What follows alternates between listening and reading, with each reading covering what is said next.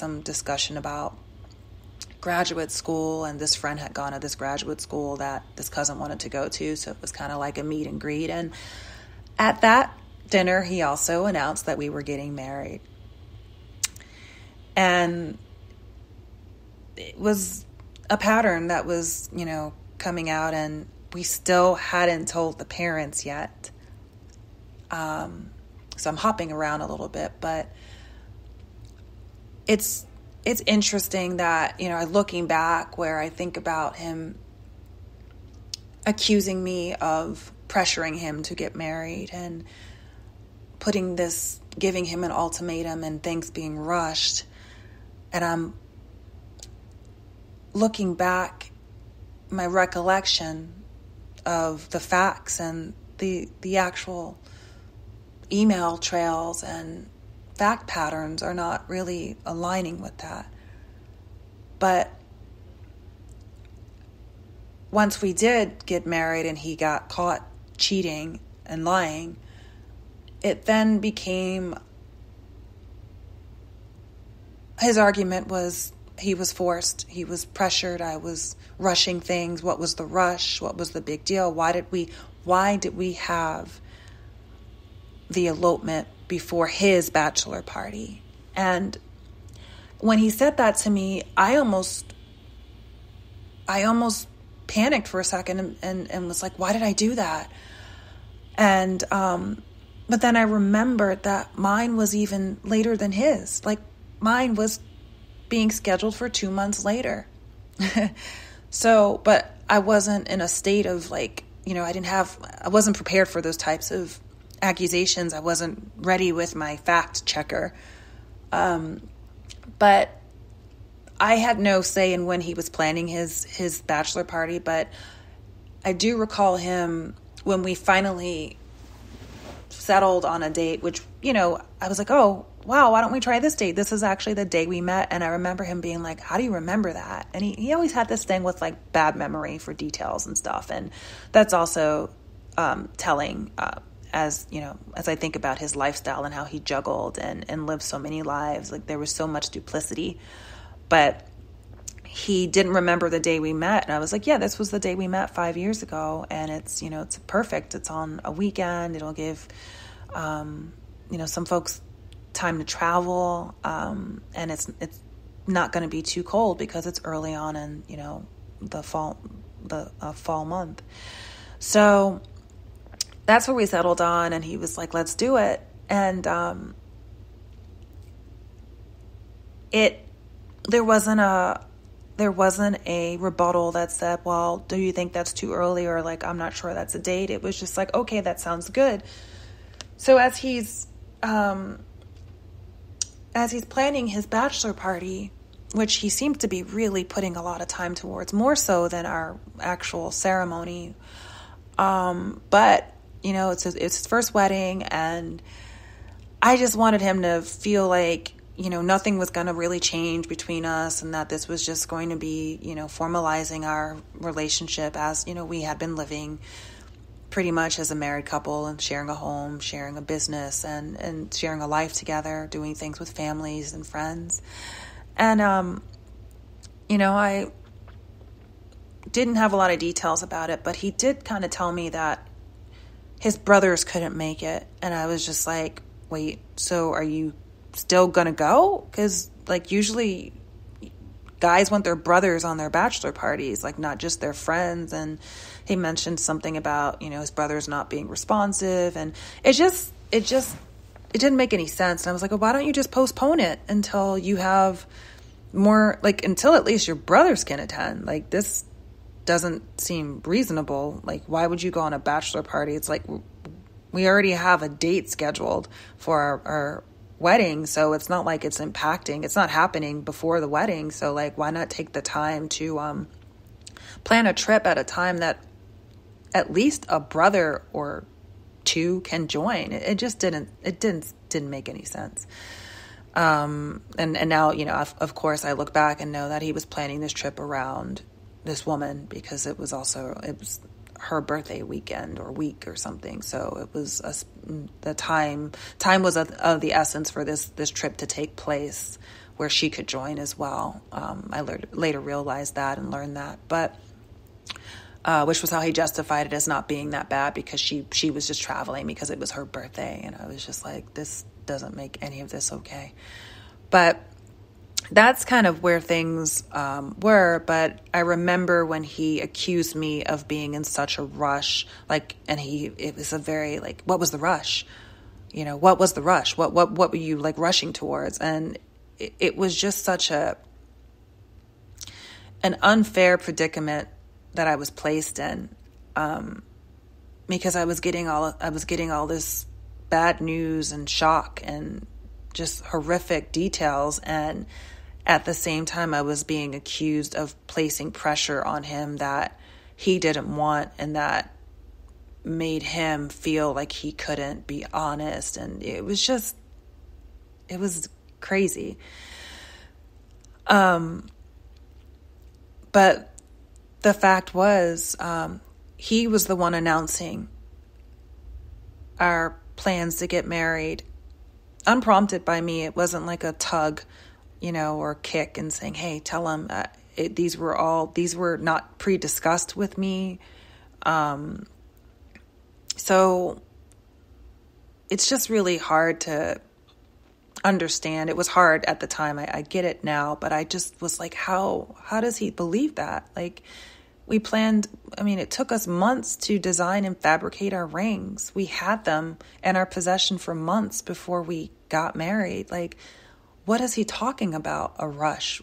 Why is this being portrayed as a rush thing when we've been together for five years? It's not like we just met you know um, so it didn't the fact did didn't make any sense and um,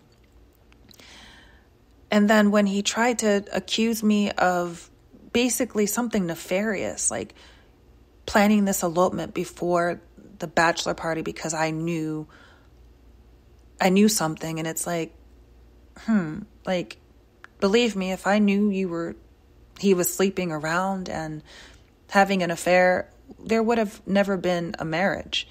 And he knew that. And so there was this like revisionist history of what my motives were when he was the one, in fact, with the um, nefarious motives. He was the one that was sleeping around. He was the one that was uh, planning a trip with, uh, you know, just his friends and not his brothers. And, you know, with with another woman like it, it just didn't make any sense and i the narrative was just off and um and it took me a while to kind of re- regroup and to to just really be like did i do that which was part of the gaslighting which is a, a form of manipulation um, but it caused me to doubt my reality and the facts until i was able to clear my head and you know think think back and look back and go, no, my, my girls and I had a call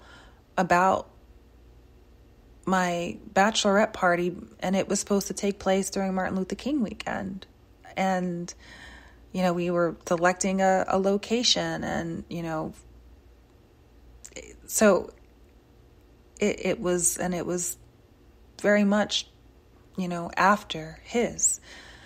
Um, so yeah, it's dealing with something like this is bizarre. Um, the announcing of the the marriage unprompted and without discussion with me, um, accusing me of putting some pressure on him when you know, and, and, and having a rush. Like we did not buy the rings from a store. We had them fabricated and it's really like there and and the engagement ring was fabricated first. And the only reason why that was changed was simply because of finances.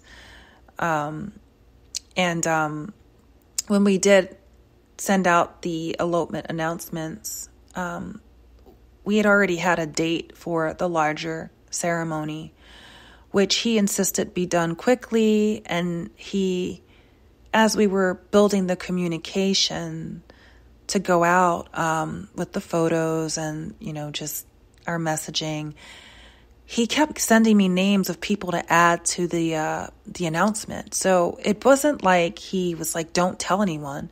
He was giving me names of people I didn't even know that were part of his extended family. And he was like, "Oh, you should tell this person. You should tell this person. What about this person?" And he kept adding them, and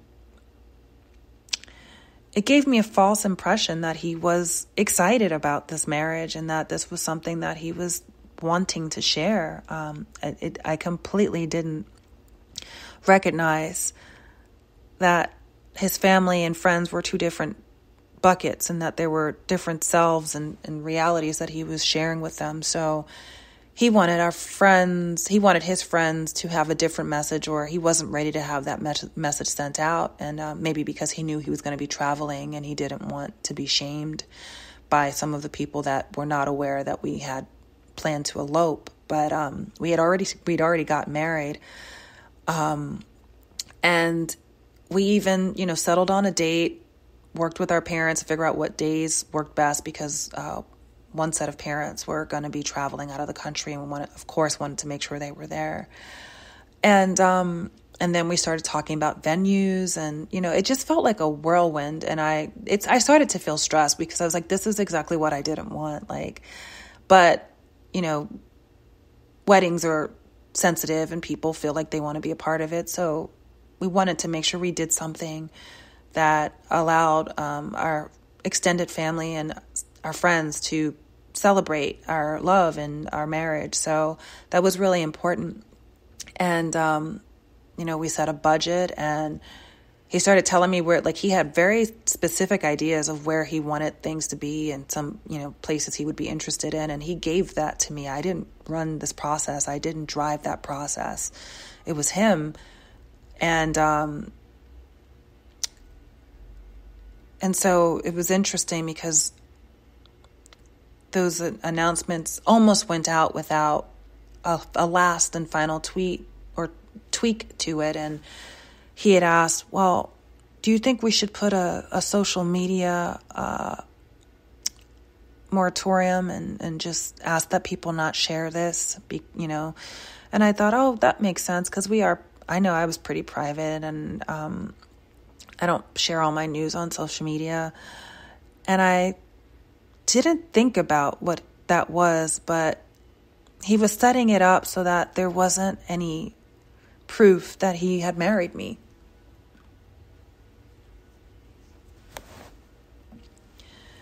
And I didn't realize that at the time.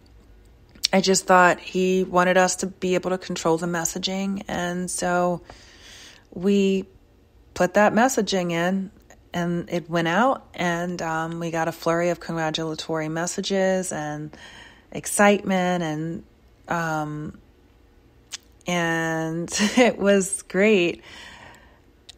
And um, unfortunately the very next day was when everything fell apart.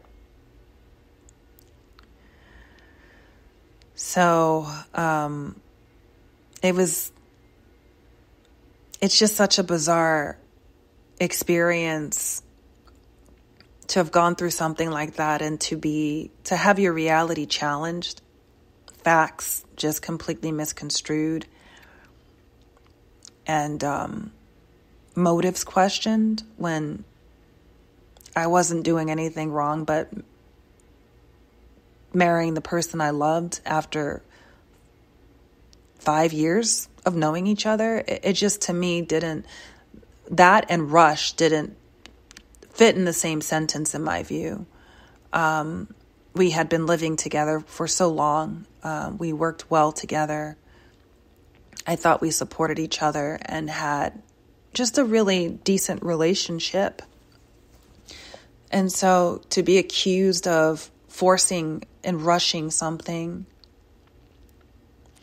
and of strategically planning the event to I don't even know what what he thought that was doing. It's like you were already married. It's like he went on the bachelor party trip already married.